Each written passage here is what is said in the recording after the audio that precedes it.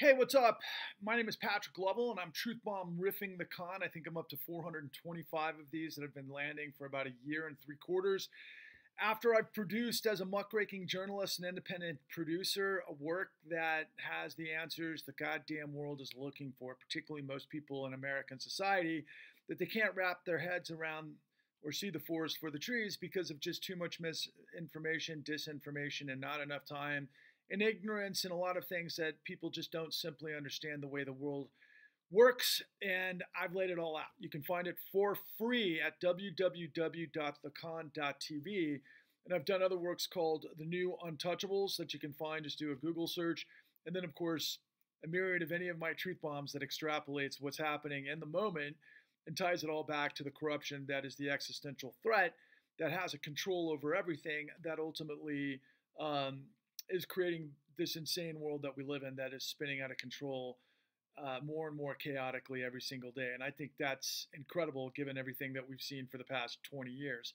So, this message is for young people, people that are just coming into their adulthood, people that are pretty much just graduated from high school, moving into college, young adults looking at the world that, um, you know, are trying to understand. And you, like me, and like everybody in American society, um, have had a whole myriad of cultural influences, whether it's from your video games or music or sports or your, um, I don't know, let's just call it socialization in high school or your comeuppance and maybe if you're in college, whatever your social networks might be. And they all have some sort of influence on um, who you are and what you've become, and ultimately, most likely because of your family experience, that all co- corresponds and coincides to create how your process processing, I should say, what we're all in the midst of. And it's it's it's both a sort of situation to where you, you think that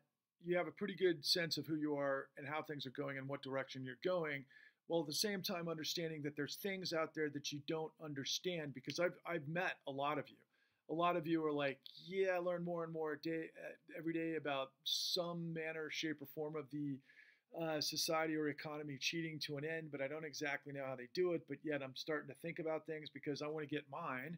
I want to get my American dream. I want to go through to where I'm going, and I want to live happily ever after like everybody else. And you have the priorities, like I did when I was your age. You want to go out, you want to have fun, you want to meet, you know, whatever your interest is, and you want to have a great time, and you want to move forward, and you want to kind of create the world that you know is going to manifest the next 20, 30 years, hopefully. But maybe you have a sense that things aren't working out so well. And there might not be a 20 or 30 years, depending on the outcome of a lot of things that are happening now. So you choose where you belong in society and how you think about things, and you're learning as you go.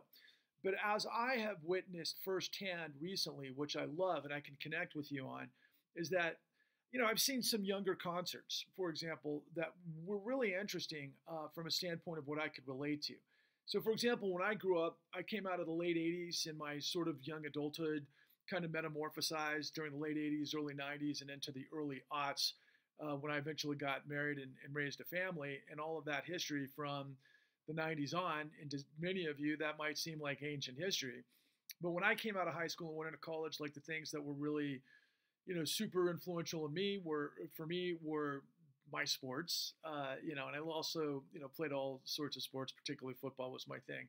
But skateboarding and that lifestyle and surfing and snowboarding and travel and that was a big part of my life, but as was adventure of any kind. And and that was really what was my sort of uh, passion forever. But a lot of influences for me were at that time punk rock, rock and roll, shows, scenes, things that I was involved with, reading, and I love to understand the world I came out of. And a big influence of me growing up was ultimately the 60s and 70s, you know, the Vietnam generation, the hippie generation, and the Grateful Dead that ultimately also kind of had this other sort of schism, which was punk rock and all things like fuck the man and the establishment and don't sell out and all those sorts of things.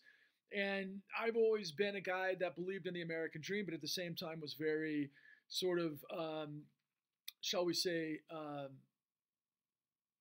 what's the word I'm looking for? I, I, I was always very cautionary towards power in central power. And I was always a bit of an outlaw and I was always a bit of, of an anarchist in a sense. You know, I, I, didn't really just fall in line and I was never complicit with the direction that you're supposed to go in power and everything else. Hence why I was very interested in punk rock. So, what's that have to do with you? So, for example, I've seen a lot of concerts. sorry, recently that include things like Travis Scott, this young African American dude who has this incredible energy, and he kind of reminded me of, you know, my son. I think he's about the same age. I think he's early 20s. My son's 18 years old, but I'd heard a lot of his music because I know it, it existed on. Uh, on um, video games of all things. Uh, that was interesting how a lot of people came to know his music through that sort of outlier, and then way you discover things on Spotify and probably in in your societal sort of configuration, whether or not you're on campus and you're at parties and people know these, you know, the words to the lyrics of these rap songs and how they're supposed to act and the vibes that they create. And I could see that all kind of transcend in this incredible concert that, you know, had 15, 16, 17,000 plus people all in sync and bouncing at the same time. And there was a great big mosh pit, which I was happy to see because honestly, you know, I wasn't sure how the kids were working it these days. You know, I happened to see this concert like, I don't know, three months ago, two months ago, where it was pretty wild. I saw Suicide Boys and uh, a guy like by the name of Ghostemane. He was a bit of a freak show, but the two of those guys reminded me of stuff that came up during my era, which was called Cypress Hill and also Marilyn Manson. And so there was a similar vibe, but there was also this mosh pit. And, and what I noticed about both of these concerts, which really inspired me, to be honest with you, was that there were white, black, Latino, Asian, every which way to sun eh, Sunday, the types of people that you know came to these shows, and everybody was bouncing in harmony and, and slamming and having a good time and interacting and and being this thing. And I kept thinking to myself as I was watching these sorts of massive, high energy, um, you know, human waves as they are, which again makes me super stoked. Sorry to be uh, you know, call back to the 80s. I hope that's not too weird, but the nature of yeah, there's energy, man, and people are making shit happen, and that's cool, and they've got vision, and they and, and they've got this thing and this connection and everything else. And I kept wondering, how many of these people understand the politics of today? How many understand what's going on? Whether it's you know, let's call it the establishment represented by Joe Biden, and maybe old school democ- democracy and uh, the way you perceive it, and that versus MAGA and everything that that you know entails with Donald Trump. And, you know, when we ultimately have presidential elections, we have the entire country all over, you know, the demographic spectrum and also the ideological spectrum and in racial and, you know, whatever other category you want to consider that come under to choose leadership, which determines outcomes, and elections have consequences. And we're in this sort of scenario where I think a lot of people are they don't want to be anywhere near associated with MAGA or connected to it, but they certainly know people in their schools. They certainly know people in their families that they're probably, you know, pushing back against, but it's not so coordinated in terms of this high energy thing that I just, you know, referenced with Suicide Boys and, and Travis Scott, for example, and I'm sure there's many others. But um, where, where everybody's coming together with a purpose and a vision and, and a thing that is like, okay, we're going to push the ball forward and we're going to right the wrongs of our parents' generation. Now, you know, in American history, particularly from the 50s and the 60s and the 70s and everything moving on, it's an American tradition where every new generation is like, yeah, we're going to do something better than the previous generation and we're going to overcome.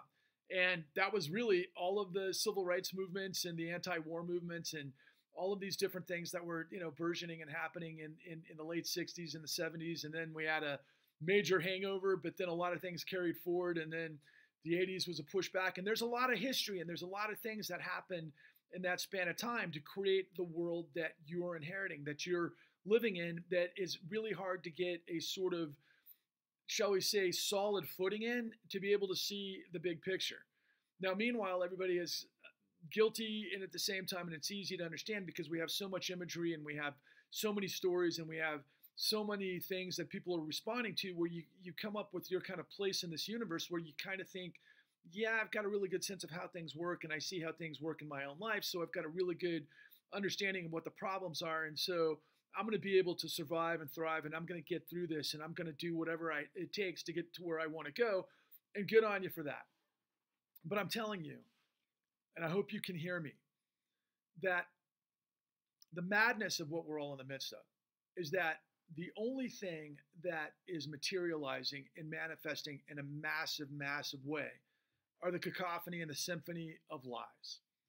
Now, they could be half truths, they could be full on propaganda, they could be, you know, uh, everything from misinformation, disinformation, but paid by whom and carried out by whom and for what purpose and everything else. And because of all of the media and because of the nature of how things work and a lot of what my generation has done, what we've done is we've siloed the population where it's like everything becomes about identity in a lot of ways, and identity is extremely important, but it's not the vestiges of what are espoused from the founding of our country and all of the things that have happened over the course of 246 years to create your reality now. And along those lines, there's always been changes. It starts with the patriot, excuse me, the uh, Revolutionary War that gives us separation of powers through the Bill of Rights and the Constitution that came from the Articles of Confederation and all of those challenges that took place that literally went into, I don't know, another hundred years of war that were nonstop in terms of proliferation of, um, eh, you know, uh, people that uh, uh, that uh, you know came to this country in search of the American dream and escaping all of the challenges of Europe, in addition to you know, cultures that had already, you know, indigenous people that had lived here and, and, and all of those sort of, you know, uh, challenges and everything that came out of it. But ultimately, we wind up because of this contradiction of how our system works and compromise and everything else, we still had the problem of bondage. So we went from, you know, basically liberating ourselves from tyranny, which was, you know, the most powerful um, country or empire in the world at that time, uh, you know, the English crown and King George III, but it was what a lot of people don't seem to understand or, or fully conceptualize was that the organization of the monarchy of King George III and the English Empire was pretty much driven by its economic engine, which was run by the East India Trading Company that prol- prolificated itself in construct with Parliament at the time, which was a bit of a democracy, which is oligarchs, really, quite frankly, and that has a whole other set of history. But the long and the short of it is they had this incredibly powerful empire that was manifesting extraction in the you know um, in the in the colonies of the United States through imperialism, of which our founders fought against, and, and they understood the system. They were very very very smart people that understood history, men that understood history, and they understood what they were up against, and they created this system supposedly of by and for the people. And before I even could get my the words out of my mouth, I know many of you are going to say, yeah, but there were landed gentry that created the Three Fifths Statute, and the American dream was always an American lie. And yeah, that's why we have, in order to form a more perfect union, which these previous generations sacrificed over and over and over to get us to an op- opportunity in 2023 where most of us really have an option to live and thrive in a way that previous generations didn't. But what you don't understand and what you sense and what you feel is yeah, there's kind of this invisible force that seemingly feels either some version of aristocratic or you know uh, police state or uh, anything that um, tends to you know create a, a, sort of strange invisible autocracy that you can't see where the system is rigged. And it's rigged by someone for someone where there's something that's corrupt and someone's getting away with somebody but you don't quite exactly know what it is well, if you put your head around the, the, the, product that I've created, that the entire machine has made sure that they won't, that can't really get you, that we had to make for free, that we're pushing out there, and I'm pushing myself really with people that are involved with me, which has been an incredibly uh, what we call the righteous grind.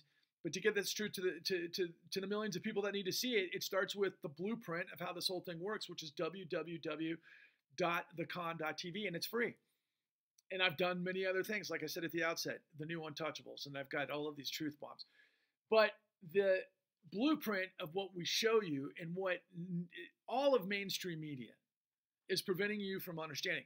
But equally more and more disconcerting to me is the propaganda of independent media of the influence that you don't understand that comes from the likes of Tucker Carlson and whether willingly or unwittingly through the likes of Russell Brand and others in all of these sorts of scenarios, particularly a guy that I thought was one of the game changers of all time, who's disappointed be, beyond comprehension, Elon freaking Musk, and a whole variety of others that none of them are going to tell you what's going on. They're all reacting.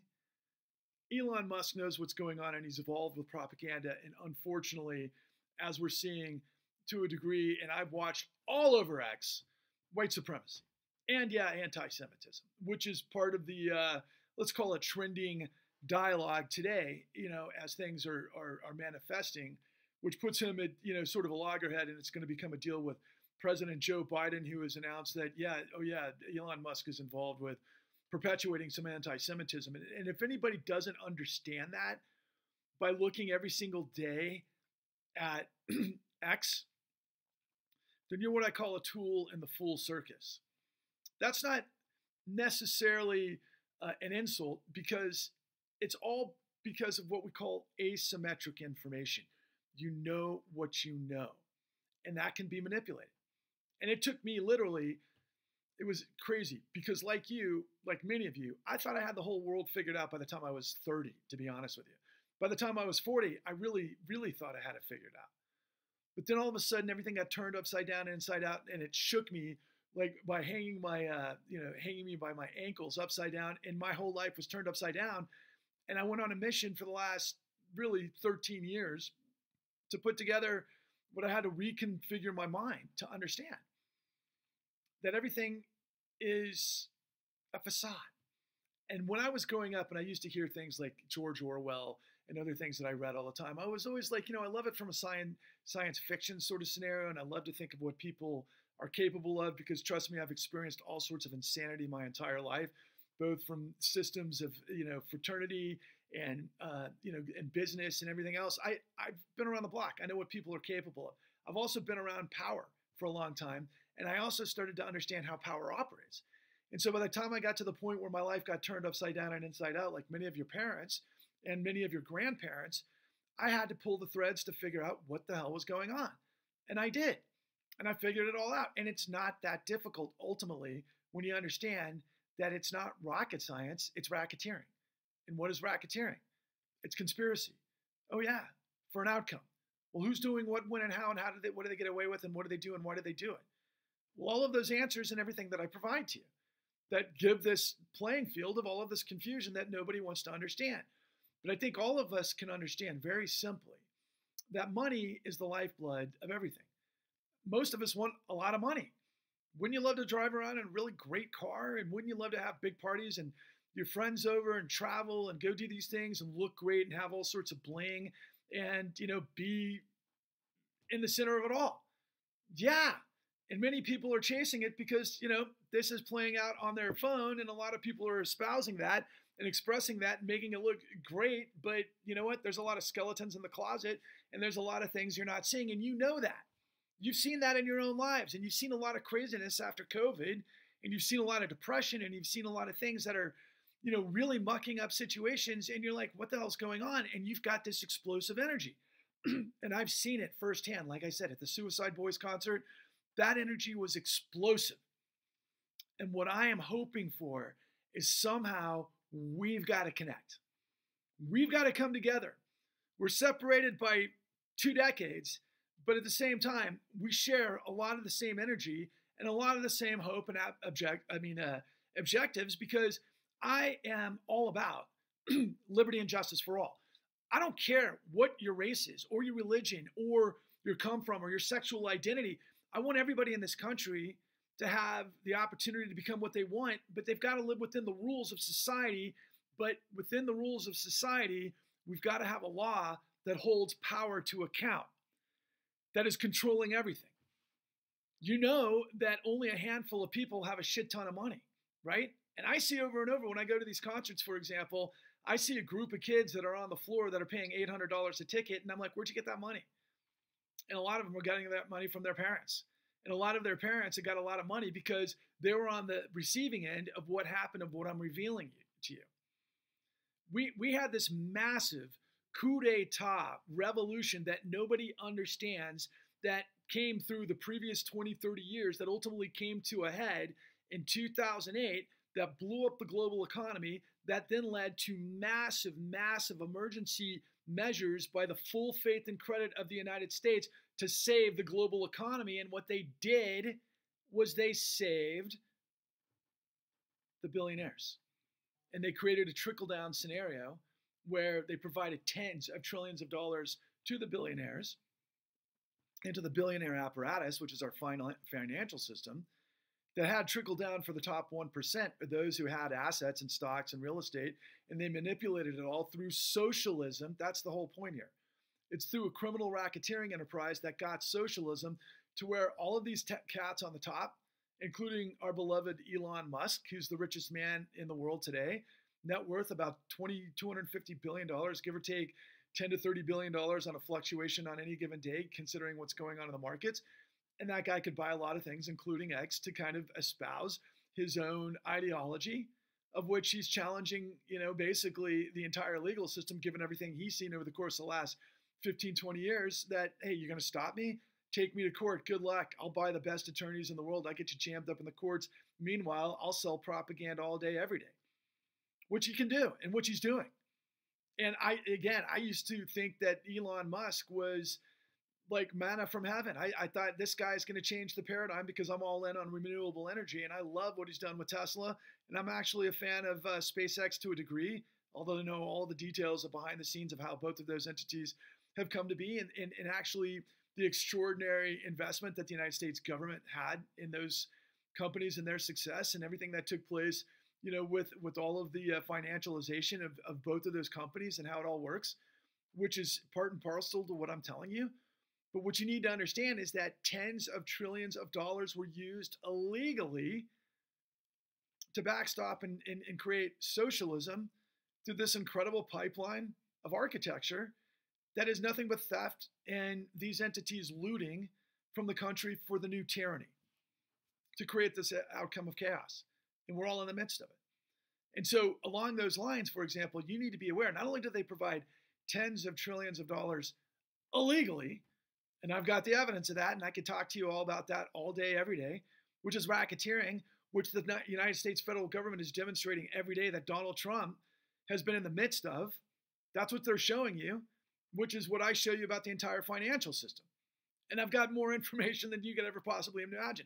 Who am I? I'm a guy who spent millions of dollars, sacrificed his life to get the entirety of the truth, that all of media, that all of government, that the judiciary is hiding from you and has betrayed you. And they're sticking it up your ass, just like they did previous generations, and they will unless millions of us come together with that incredible energy that I know exists. We got to meet MAGA head on. But you got to have a vision. And you got to have, and it's not just MAGA, it's the status quo. What I continue to say and perpetuate is that really what the battle is right now is between what I call the new robber barons versus the new Confederacy. And both those models are super, super exploitative capitalism. Now, what is capitalism? A lot of your generation can't stand capitalism and think capitalism is the enemy. But what I just told you is we're not a capitalist country. We're a socialist country. But for criminals. And that's the story. Because capitalism really is an ideology is risk reward and creative destruction. We have a thing called bankruptcy. So if bad actors or people who break the law go to jail, they have all their money taken from them and their business goes sideways and they can't do business again. That's called the law. But as you can see with Donald Trump, that's not happening. So what's going on with the law? Well, are you aware that the Supreme Court has been revealing all sorts of uh, incredible corruption in you know involving billionaires uh, you know and gifts to Supreme Court justices that are on the libertarian slash conservative side that self-help themselves that got put there you know to a you know a lifelong uh, position on the Supreme Court where they're literally getting gifts from billionaires while they're making decisions on uh, cases that are important to billionaires like Clarence Thomas and Judge Alito and really all of them. Kavanaugh, I don't know what's in his closet, but boy, there's more than beer kegs and chicks that got drunk that they sexually assaulted back in the day. Brother Kavanaugh. I mean, my God, the corruption is so stupid and so insane, but it's how systems work. And you all know it. You've all gone to the fraternity that you can't get in, right? Unless you're in it and you know the secret handshake. And maybe you were getting the secret handshake and maybe you were a good guy, but maybe you were like super hopped up on coke one night and a bunch of guys raped a chick because they got her on some sort of um, you know, roofie and you watched and didn't do anything about it. You wanted to, but you know that if you did, you get kicked out of the fraternity and you know you don't want to do that because your dad got you in because of his legacy and you know you're going to get shot. That's called complicity. And that's part of the art racketeering art, and that's how the mob operates. And you know how you break all of that shit? Well, twofold. One is you either have a war, a big fight, and a revolution, depending on you know who you're fighting, or you have the law work. And the law is supposed to hold bad acting accountable because we have laws against that sort of thing, and you all know that. This is the basic construct. And so, like in the last 24 hours, you know, I know I've, I've definitely, you know, scratched the surface and, and started to kick the, the, the hornet's nest in every single direction, and it's working, and people are starting to figure out who I am. But they're coming from this perspective of like, they don't know who I am from the standpoint of they don't know all my work. They haven't listened to my 425 seven truth bombs or whatever the number is today, and they don't know, you know, what my work in the con is, and they don't know what I've said and how I've said it. And so maybe they get a piece of this and they're responding where they're like, well, this guy's saying this and it doesn't align with what I know because I'm kind of over here and I might have heard this and that. And so you're trying to suss it out and you don't really know until you get the full scope of the education of what's going on. And like I continue to reiterate in this whole situation is guys, I am all about liberty and justice for all from a patriotic endeavor because it is the greatest system that has ever been devised in the history of the world that's still flawed like crazy because people are flawed. And I can promise you, and I'm going to use this from a metaphorical, uh, you know, connection. And I hope you can kind of ponder this. But what I learned a long time ago was the greatest trick the devil ever played was to convince the world he didn't exist because I'm a wise guy and I can figure shit out and I'm a bit of a brawler and I have been my entire life that goes into pits and you know slam dances back in my youth just like a lot of you cats are doing now. And that was kind of my come from. And I, I understand how that all feels and what that's all about. And in the expression of it you know it, it, they, the system must have thought I was you know they were pissing on my head you know telling me it was rain and thinking I was some kind of new fool. And I wasn't. I just figured out what the fuck they were doing because I know how to do that because I'm a producer and I also understand history and I understand I got a college education. I've been there, done that. I've been in the game. I've walked around. I've been I've run around, you know, the block many, many times. I've seen just about everything that there is to see, honestly. And I'm just trying to break through to capture and connect those who understand the triumph and how important it is to live free with integrity and dignity so that everybody can go find their own dream. But you got to live within the confines of the law too. And if you break the law, we used to say back in the day, if you can't do the, you know, don't do the crime if you can't do the time. I mean, eh, same as it ever was. But the entirety of the United States for democracy and liberty and justice for all through separation of powers can only exist with integrity of law. And ultimately, the media is supposed to be the fourth estate who holds that all in, in check. But what we what we became, and, and this is the whole situation. We're not a capitalist country. We're not a communist country. We're not although we're close to what I would call the Politburo, and you'd have to look into what Stalin did, you know, after all of the chaos in Russia, you know, from the revolution through World War II to get to Stalin to understand what I'm talking about that. But none of the isms get it completely right, and corruption is always what fucks everything up, and it has throughout history. But what I'm trying to tell you, and I continue to try to tell everybody, we live in a modern society, right? You can go and you take it for granted where you get in your car where the brakes work and everything works great and you you know go through a city that has all of the lights and the infrastructure work to go to a job that gets you you know on an elevator where that works properly and you can go you know on an airplane where that uh, operates properly and, and none of that happens by accident. It happens because we've got professionals in the system that created based on engineering and the rules and the regulations that make them safe so they don't all fall apart and everything else. But what you can't see through the forest for the trees is that money is a little bit different Money is different when you can manipulate outcomes and you can set everybody up. And so we don't live in a democracy. Okay? A lot of people are going to tell you, well, of course we don't live in a democracy because we live in a constitutional republic that's a representative republic. What they're not telling you is that that's a manipulative uh, scenario to make you understand that they can use gerrymandering and dark money and all sorts of manipulation through corruption that basically gives us rule by the minority which is tyranny and the opposite of democracy. And what we really are is a corporate fascist state. And for those of you who were, look up those two terms, you'll, you'll find that there's it's a bit of redundancy, and that's the point. We are a corporate fascist system undergirded by a criminal syndicate that uses socialism because tens of trillions of dollars came from the Fed illegally to backstop the system, to backstop this system of global racketeering and criminality that is now fueling fascism. Back in the day, James Brown have ha, had this great song called "The Big Payback." You know, African Americans for a long time knew the whole system was rigged, and a lot of African Americans came up in the system as hard guys that are like, you know what, don't hate the player, hate the game, right? And so they did everything they can to kind of get theirs and everything else. And it's always this ebbs and flows and this battle and everything else. But guys, we've gotten to a point where there's no turning back, man. My whole life, I have seen stuff where, you know, criminals do some crazy ass shit. And sometimes they can last a while before they get popped and then they ended up getting popped and then they get reformed or they go somewhere, they keep doing it until they're dead. Yeah, that's part of American society. Okay? But when the system and the professionals and the legal system and the judiciary go to that level of criminality infinitum, dude, we're off the rails. And that's where we are.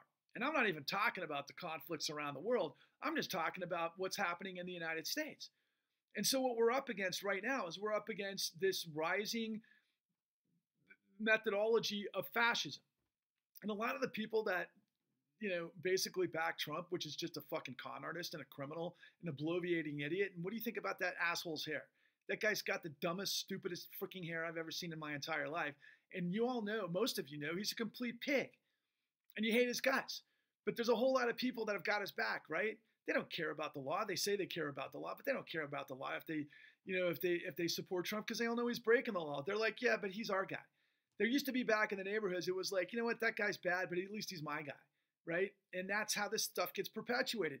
And Trump is supposedly kind of fighting the system, but he is the system. He's the manifestation of the system. This is what happens. And what I continue to say is my shortcut is corruption births and fuels fascism. And so, my message to you, my friends, is that we got to come together, man, and we got to raise the truth. And this is what I call exodus from corruption to resurrect the American dream. And yeah, maybe it's the end of the world.